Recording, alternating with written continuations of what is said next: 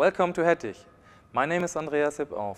In this video, I would like to explain how to use Hettich hinges to design cabinets with overlay applications. Overlay applications are the most common way to design cabinets. So this exhibit um, displays different application situations, but in this video we would like to concentrate on the standard application. So there are two different types of standard applications, the full overlay application and the half overlay application. On the full overlay application, you can see that the door is almost overlying the side panel and there's only a minimum reveal that is needed to open the door. On the half overlay application, the door is only half overlaying the side panel and the reveal is twice as big as on the full overlay application. In this step, we want to demonstrate how to calculate a standard full overlay application. Therefore, we go to the catalog page.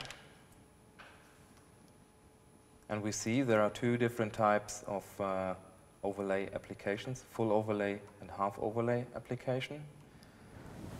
We can also have a look here on the mock-ups. And you see that there is a different shape of the hinge arm, which gives us the, the base B of the hinge, what we need for calculating the mounting plate distance. By changing the distance D, we are also changing the overlay of the door. And the same applies if we are changing the cup distance C. The formula to calculate the mounting plate distance is here on the opposite side.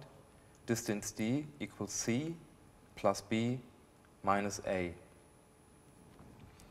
So in this example, we calculate with a side panel thickness of 90 millimeters and a door thickness of also 90 millimeters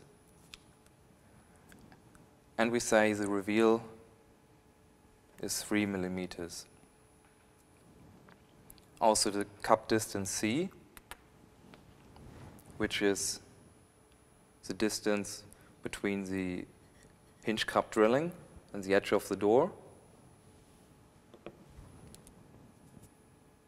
is 4.5 millimeters in this example. So what I've mentioned before, the base B is here shown in the catalog. It's 12.5 millimeters.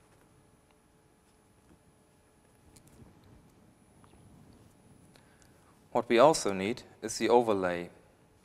The overlay is the difference of the side panel thickness and the reveal. So in this example, we have an overlay of 16 millimeters. Then we can go to the formula. So the cup distance C is 4.5, base B 12.5, and the overlay 16 millimeters. So we have a uh, mounting plate distance of 1 millimeter but that doesn't exist, so we go to the next bigger size. That's 1.5 millimeters. The resulting difference of 0.5 millimeters has to be adjusted with the overlay adjustment screw integrated in the hinge. In the last step, we have to cross-check the minimum reveal. We have a little table here in the catalog. And um, door thickness is 90 millimeters, that was given, and also the cup distance C of 4.5 millimeters. So the minimum reveal has to be 0.8 millimeters. We have, in this example, a reveal of 3 millimeters, so it's all good. We hope that this video was interesting for you and that it will help you when designing your next cabinet with overlay applications. Thank you for watching and until next time. Thank you.